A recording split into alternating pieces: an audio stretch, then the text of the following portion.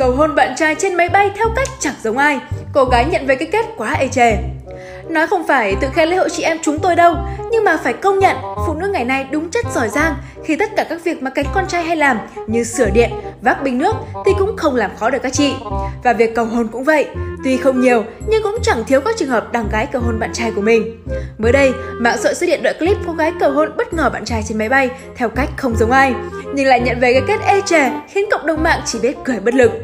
Theo đó, chị gái đã lén lút mặc bộ váy trắng thật xinh, tay cầm hoa và tấm bảng Will You Marry Me rồi nằm trong khoang hành lý. Dù đã làm 7749 cách để gây sự chú ý cho bạn trai, nhưng anh này thì cứ liên tục hết ngủ gục rồi đến cất đồ, mảy may không biết đến sự có mặt của bạn gái và mặt cờ hôn bất ngờ của cô.